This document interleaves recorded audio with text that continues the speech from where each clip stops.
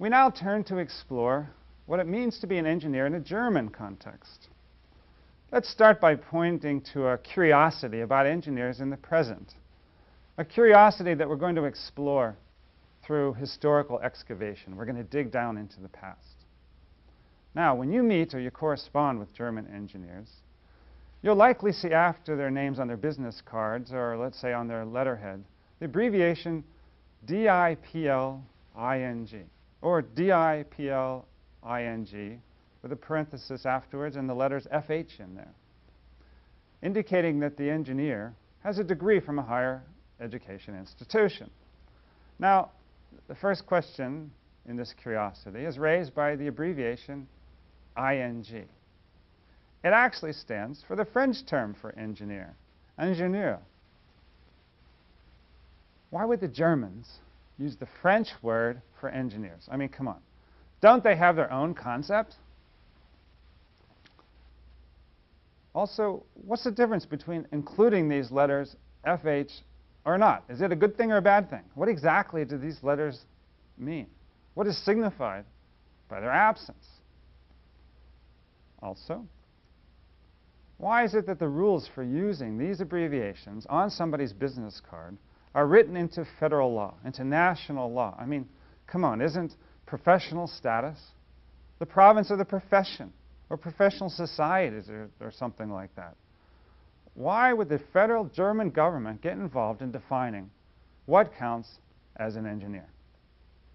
Now, this little curiosity provides us a nice pathway into the cultural, exploring the cultural history and the emergence of German engineers. Our three guiding questions in these modules involve asking what it means to be an engineer, what counts as engineering knowledge, and what sorts of work do engineers do. In this case, we will find that there are two tracks, two identities for engineers in the German context. And we will learn that, that, these, that the status of these tracks themselves have evolved over time. We'll find out that the Germans have figured out a very interesting way of grappling with a, a long-standing problem in engineering, namely the relationship between practical knowledge and theoretical knowledge. And we will find that German engineers tend to work in the private sector. But while working in the private sector, German engineers can know and have known that they are contributing to the well-being of the nation state and indeed of humanity as a whole. Now, how does this work? To explore this cultural history, I want to call your attention to three different dominant cultural images. The first one is quality. The second, progress. The third, nationhood. I'll keep this in mind. When I ask students in class to give me some idea of what they see as the essence of German engineering, they all say, as, as probably you would say, BMWs or Mercedes-Benz. I mean, to them, BMWs and Mercedes-Benz vehicles somehow stand for quality, or a quality engineering product but in a specific contemporary sense of precision, engineering precision.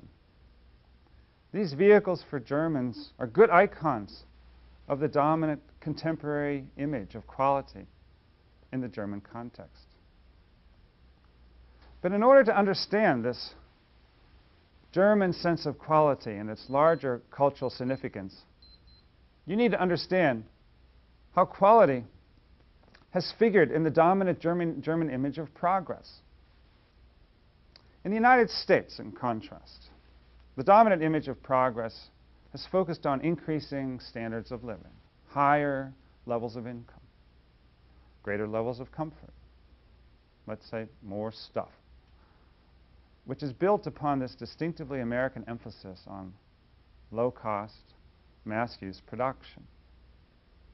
In the German case, the dominant image of progress has been built somewhat differently upon an ideal of emancipation, of freedom, a freeing of the human spirit, a release of something that is immanent or internal inside of humanity. It is naturally internal to the human being, the human essence, and it gets revealed over time. The main indicator of uh, developing progress in the German context has been increasing quality, equality in human production. Now, engineering was long, was long a low status activity, but over time it became linked to the dominant images of progress and quality. This happened when engineering practice came to be important for national identity. So, today, by virtue of one's work in engineering, even when one is employed in private industry, one can be sure that by implementing engineering precision, doing precise engineering work, in developing quality technology and quality products, one is working to advance Germany as a nation state and humanity as a whole. But as we'll see shortly here, Germany has long, has long been and remains even today a highly diverse collection of states. So, in order to understand this, the cultural positioning of engineers, what it means to be an engineer, it's important to be able to describe how engineering came to help build this a unified nation state, a process that took place in the late 19th and the early 20th centuries.